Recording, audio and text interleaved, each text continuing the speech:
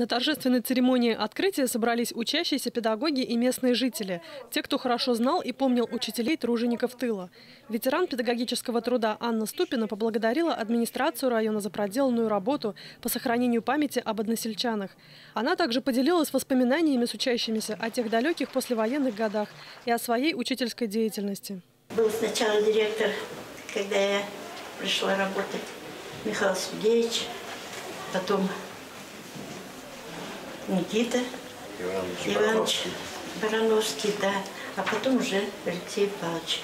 А сейчас мой ученик Александр Степанович. Анна Ступина преподавала в первой школе биологию более 30 лет. Директор школы Александр Самсоненко рассказал ребятам, каким замечательным преподавателем она была. И Вот Анна Тимофеевна награждена вот такой медалью за доблестный труд, ведь ее тоже не всем давали. То есть вот она работала очень хорошо, это очень добросовестный, порядочный человек. Она очень ответственно подходит ко всем порученным делам. Вот поэтому она вот имеет вот такую награду. Это событие стало значимым и для учащихся, ведь теперь они будут знать всех тех, кто дал дорогу в жизнь не одному поколению ермолаевцев.